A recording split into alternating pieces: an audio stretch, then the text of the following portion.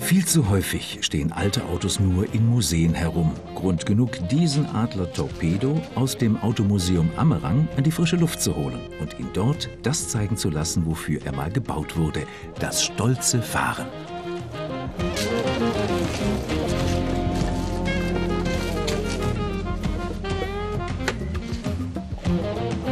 Also, Benzinhahn auf und mit einem kräftigen Druck den Motor anwerfen.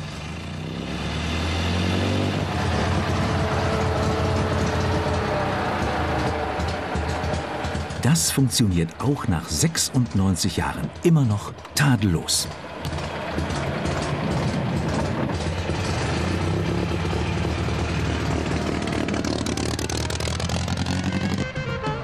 Unser kleiner Adler Torpedo kam 1914 in Frankfurt am Main auf die Welt, kurz vor dem Ersten Weltkrieg also. Die Adlerwerke waren damals einer der erfolgreichsten Automobilhersteller Deutschlands. 7000 Menschen arbeiteten dort und produzierten neben Fahrrädern und Schreibmaschinen stolze 3000 Autos pro Jahr. 55.000 Autos gab es zu dieser Zeit insgesamt in Deutschland.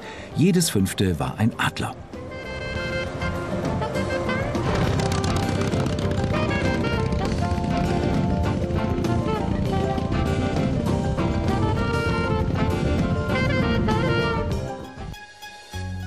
Anfang des 20. Jahrhunderts waren Autos reiner Luxus für Reiche, ihr Gebrauchswert minimal, ein Spielzeug für Technikfreaks. Unser Adler markiert schon die Wende, fortschrittliche Technik, robuste und zuverlässige Konstruktion, das überzeugte damals auch die Kunden, die ein Auto nicht als Marotte brauchten, sondern ein praktisches und schnelles Fortbewegungsmittel suchten. Die ausgefeilte Technik schuf die Grundlage für den Siegeszug des Adler und des Automobils an sich.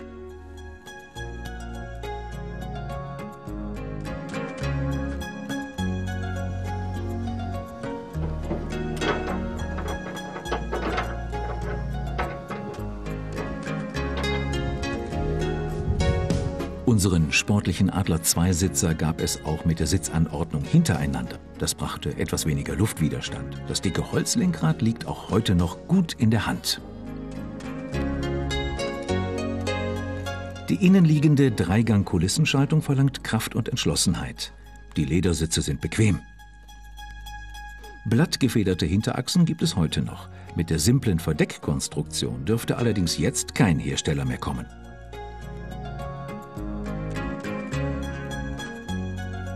Der Vierzylinder-Reihenmotor in Blockbauweise holt aus 1300 Kubikzentimetern Hubraum bescheidene 13 PS bei gerade mal 1500 Kurbelwellenumdrehungen.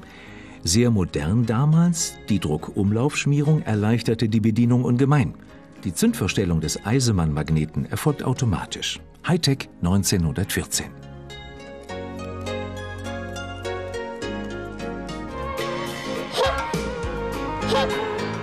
In unserem Adler werden die Hühner noch mit der Ballhupe verscheucht. Das praktische Gepäckfach hinter der Sitzlehne würde auch einem heutigen zweisitzigen Roadster noch alle Ehre machen.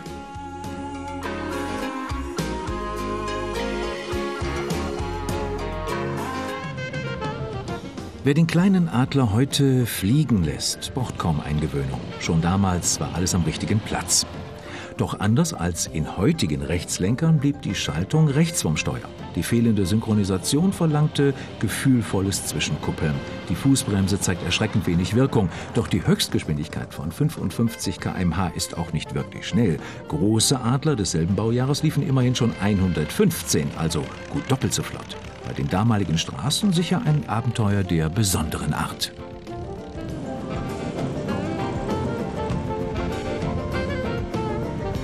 Je nach Ausstattung kostete das sogenannte Adler Kleinauto damals gut 3500 Mark. Das waren 1914 zweieinhalb Durchschnittsjahresgehälter. Heute ist dieses Auto wie eine Zeitmaschine. Der Fahrtwind kühlt Mensch und Motor und man ist stolz über jeden Kilometer, den man zurücklegt.